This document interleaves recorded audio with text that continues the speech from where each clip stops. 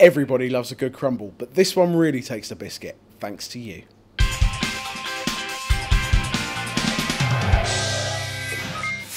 This crumble has a base of apples, which we're going to cook off in lemon, butter, and a pinch of clove. We're going to make a toffee sauce from these and some cream, and then a selection of crumble ingredients we'll come to later on. Can I just tell you how excited I am by the, the prospect of a toffee apple crumble? You can, you just have. Next up, we're going to take our apples. I'm going to give them a quick peel.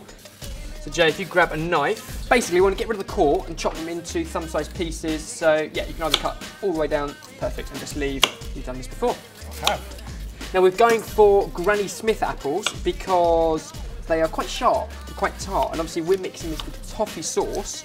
We didn't like the uh, the idea of a pink lady, did we? No, prefer a Granny, um, just because they're, if I'm honest, they're cheaper, and the fact that we're going to stew them down is better.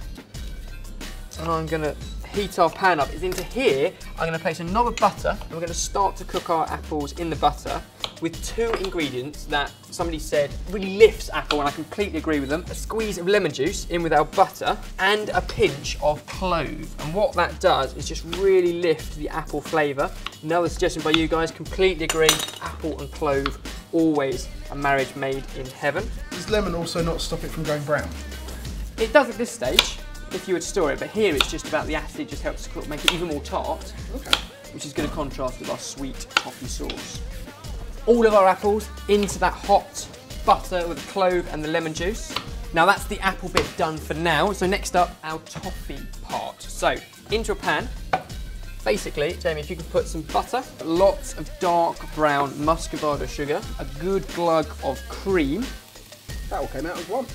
plenty of golden syrup, about 200 mil. If you want the exact quantities, check out the link below. But that's it, toffee sauce, ready to go. So that's going to go on. Bring it up to a bubble and boil it away for 10 minutes. And it becomes really dark, really sticky, a bit like toffee, and we'll pour that over our apple in just a moment. For our crumble, we need to combine a few ingredients. So we've got flour. I like making crumble. Why do you like making crumble? Get your hands dirty, don't you? Yeah, you- hands involved. can get in there. Obviously, you can use a machine if you want, but this cold butter rubbed into flour, and then it's a matter of sweetening it up with some brown sugar. And we're adding two ingredients into this that make this a bit different from your average crumble. Okay. Porridge oats, which gives a crunch and a chew. That was suggested to us. Plus, I think this was genius. Somebody said ginger snap biscuits. Ginger and apple, always a great combination. We've already got the cloves and the toffee, and toffee and ginger work. So this is a real warming Yeah. crumble. So all I'm going to do is snap up a few of these. So you're rubbed in. Now we can add in all of our sugar, mm.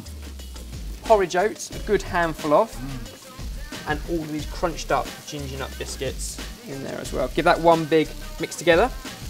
We have our dish. So we'll put our apples in there like so. Generous drizzle of this thick toffee sauce. Wowzers. That's why we use the really dark muscovado sugar. Yeah. And then do you want to crumble away Yeah. on top of that? just going to be a bit of a. Yeah, scatter, looking great. It's entirely up to you how thick you go with the crumble. Should be in the ratio, to the fruit, I think. It's a personal thing. I think sort of two thirds fruit and a third, or maybe even three quarters fruit and just a quarter. So it's really just a top layer. And then that needs to go into a hot oven, 180 degrees Celsius, for about 15 minutes. The apples and the toffee sauce will bubble up, the crumble will go golden, and that'll be one hell of an apple crumble. Oh, Look at that.